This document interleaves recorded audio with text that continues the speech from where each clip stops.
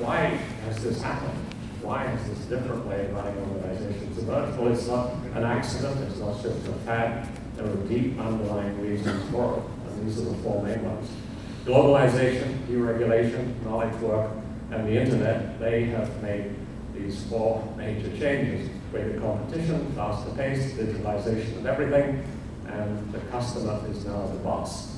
This is a different world. The whole way of managing cannot cope with this new world, and any firm that does not respond to this different world uh, will not be with this world for very long. It's a new world that is emerging. And uh, in management literature, you'll find a lot of emphasis on these things, uh, greater competition, faster pace, and digitalization.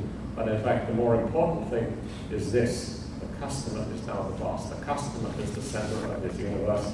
And unless you deal with that factor, none of the other things are actually going to work. So it's a mindset. It's not a technology, not a process, not a system, not a platform, not big data not an organizational structure. This is a mindset, different way of looking at the world. And what we saw in the site was uh, that if you have this mindset, benefits flow no matter what the processes you had. I mean, some of them were doing Kanban, and some doing Scrum, and some doing Lean, and some doing this. But if you had those, the mindset, it didn't really matter uh, what process you call it or what you, uh, terms you used.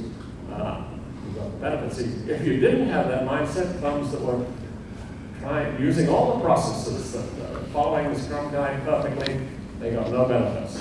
This benefits flow from having the mindset.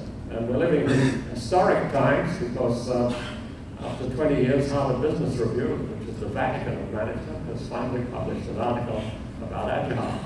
In April uh, 2016, they published their first article on Agile, Embracing Agile. It's a very fine article, you should read it by Jeff Sutherland and others.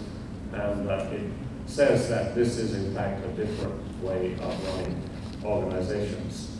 Uh, and it has the statement, now agile methodologies are a radical alternative to command and command and control style management. And that the second part of that sentence is correct.